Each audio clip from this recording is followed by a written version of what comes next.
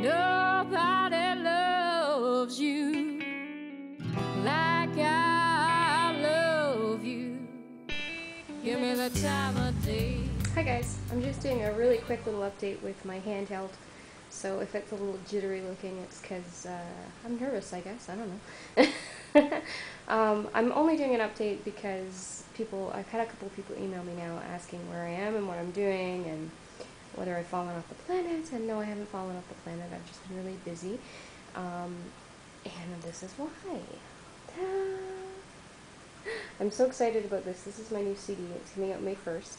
It's going to be available on CD Baby and my website and a few other places and all digitally through iTunes and whatnot.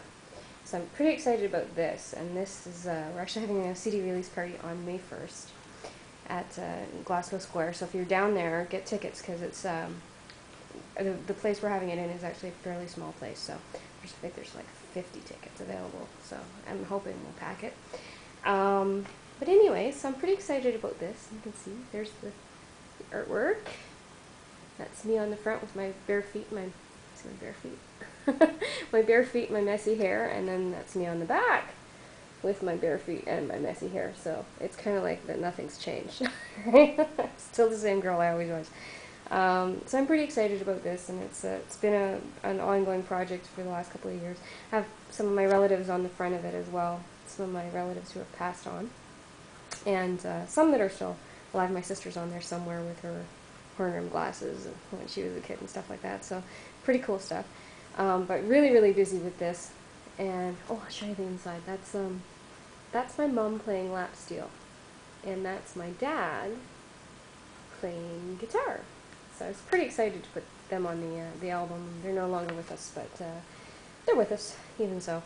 Um, so, anyways, this is what's been keeping me away from YouTube as well as other places, and keeping me really busy. Um, I've got rehearsal. I've had a lot of rehearsal with the new band that I picked up to help um, help me do the CD release party and some of the larger concerts. So I've got a full band for for this uh, for the CD release, which is going to be really super exciting. And they sound amazing. They're really great guys and they're really amazing players.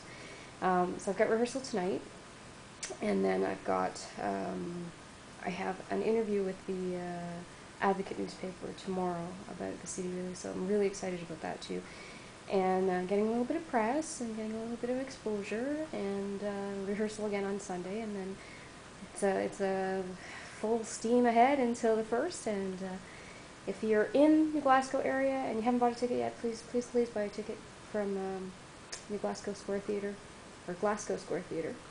And um, we hope I hope you come out and uh, celebrate with me. So that's where I've been.